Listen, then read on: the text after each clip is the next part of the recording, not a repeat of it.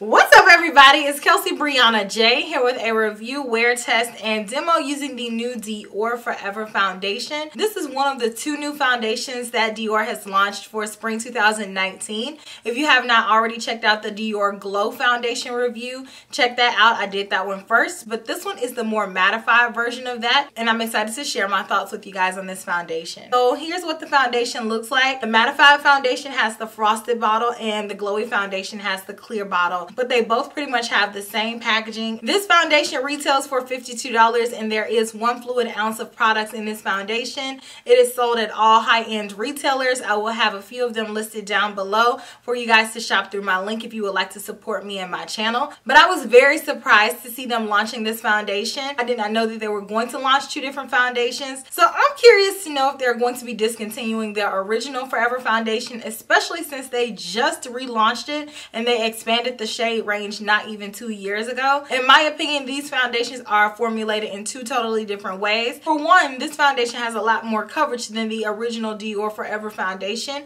But what I'm going to do for you guys is compare them. I'm going to do that in a separate video. So make sure you look out for that one. But Thank you for calling Dior. My name is Juana. How may I assist you today? Hi, yes, my name is Kelsee and I was calling in regards to your Dior Forever foundation, the new one that you all have. And I was just wanting to know, um, is this foundation going to be a replacement for your original Forever uh, Diorskin Forever foundation or will it be coexisting? Right, well, it's not the idea as for right now. All of them are going to be available. Okay. Right, so yes, you can purchase either of them and it's just a different type of creation with different type of um, procedure and, and it's just a, a new foundation. Um, but in the future, I'm not sure about which one is going to stay on the on the inventory on stock. We do not have that information, unfortunately. Okay, so the new Dior Forever is a permanent foundation, correct? Yes. Okay, so I just needed a little bit of clarification because it seems like there's a lot of similarities overlapping in Dior's foundations but they said that this is going to be a permanent item and they said that it is different than the original Diorskin foundation in that this one wears longer and this one has more color options. So I'm gonna go ahead and read you guys off the description of this foundation and it says Dior takes 24 hour complexion perfection to the next level with forever. With Dior's iconic long wearing foundation formula the complexion appears flawless and even in the pores tightened from morning to night this fluid foundation instantly enhances the appearance of the skin and improves its quality day after day with a formula enriched in meticulously selected skincare ingredients to reveal the skin's feel sensuality. Dior Forever creates a flawless, velvety matte finish on the skin and is available in the Skin Glow format for a glowing, radiant finish. And it has rose hip extract in it. So I have it on now. I have the color 4N. I do have a different color in this foundation than I have in the Glow foundation. And that's simply because I don't feel like the colors align in the two foundations. And in the Dior Face and Body foundation, I even had to mix two colors. And the color 4N is just way too dark for me. So I don't find that these colors are consistent across the board. So just keep that in mind. And I would advise you to go into the store and get matched. Because a lot of us are going to be different colors depending on which formulation of Dior foundation you choose. But this foundation does have a wide range of colors. There's 36 different colors with different undertones. We have the warm, the cool, the neutral, and we have warm olives. There's a good amount of color choices here for you guys to select from. 4N is a neutral color, but although it says that this color is neutral, I do think that this color runs a little bit more golden, and I think this color is a little bit too dark for me, so it's not a perfect match, but I definitely can make it work. But I want to go ahead and jump into the demonstration of this foundation, and that way you guys can see what it looks like with me applying it. Also, if you have not already, make sure you check out my original Diorskin Foundation review that I did a few years ago. So that way you guys can get a jump start on the comparison. So enjoy. So I'm just going to make sure that my foundation is very well shaken and I'm going to start out with two pumps. Uh oh that one got a little messy. On the back of my sponge and I am going to pounce this over my face. So I'm just going to start off with one side. Two pumps is more than enough to cover one side of my face.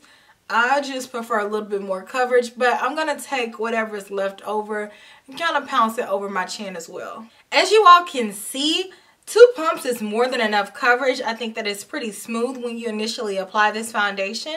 This color is just a smidge too dark for me, but nothing that I can't correct with concealers. But here's what it looks like when you initially apply it. With the foundation, I feel like it gives a good enough coverage to where you don't really need to go back in with a lot. Plus, I cannot see my imperfections on my skin, so it gave me a decent amount of coverage. So I'm going to go in with the same amount on this side.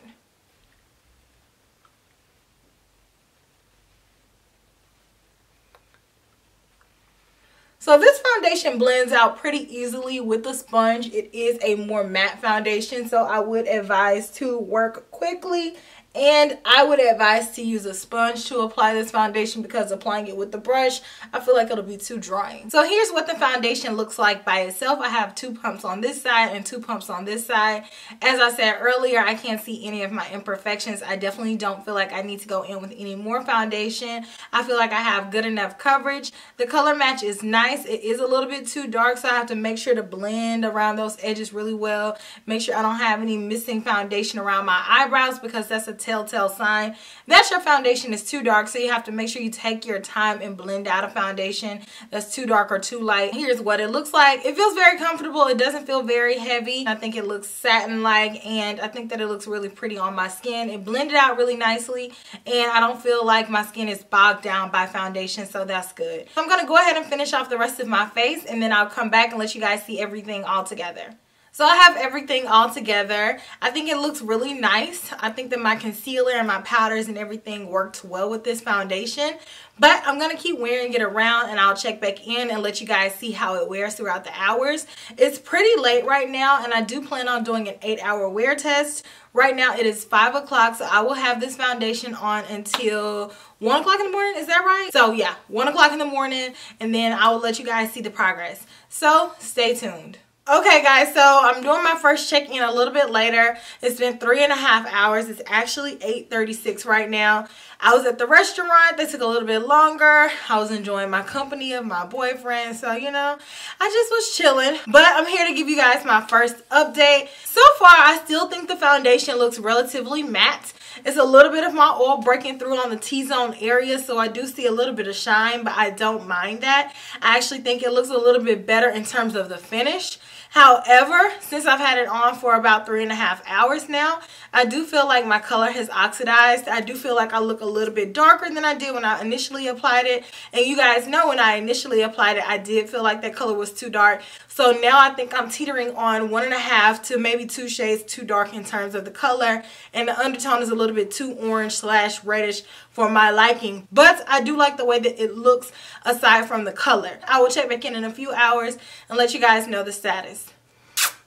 It is now 10 o'clock. I've had this foundation on for five hours and I wanted to come back on and give you guys a quick check in on what it looks like now. As you all can see, my forehead is a little bit shinier. I don't think it looks too, too different from my last check-in. And that's good because that means it's not progressively deteriorating or it's not sliding off my face. It's wearing pretty consistently. So I like that. It is a little bit oilier here, but that's natural. The color, again, it did oxidize, but I don't think that it oxidized any further. So I'm going to wear this foundation around for about three more hours and I will check back in and give you guys the final updates. I basically am ready to go to bed. It is now 1 o'clock in the morning. I have had this foundation on for a full 8 hours. And I am ready to give you all my final thoughts. 8 hours later, I'm to let you guys give me your opinion. Tell me what you all think about how my skin looks right now after wearing this foundation all day.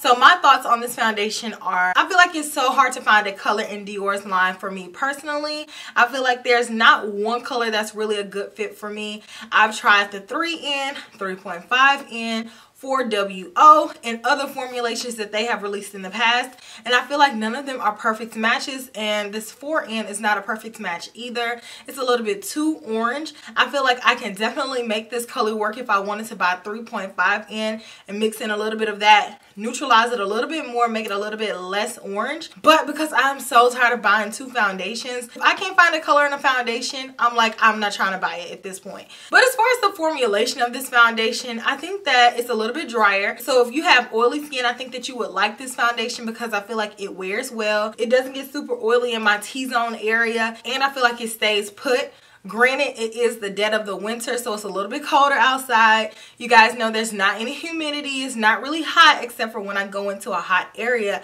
But I don't really sweat in the wintertime, and I really am not going to get that hot to the point where my foundation will slide off my face. I feel like it overall looks pretty good at the end of the night, aside from the color because this foundation does oxidize.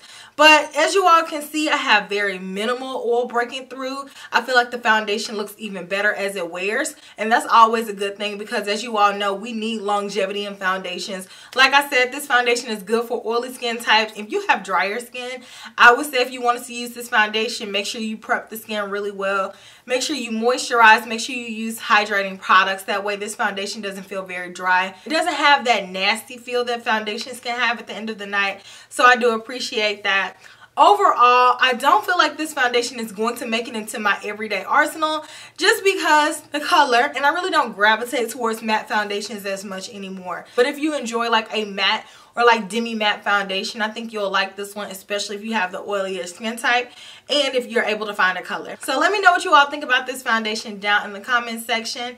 I look forward to reading you guys' comments. But until next time i will talk to you all in my very next video which will be super, super soon. Smooches. Bye.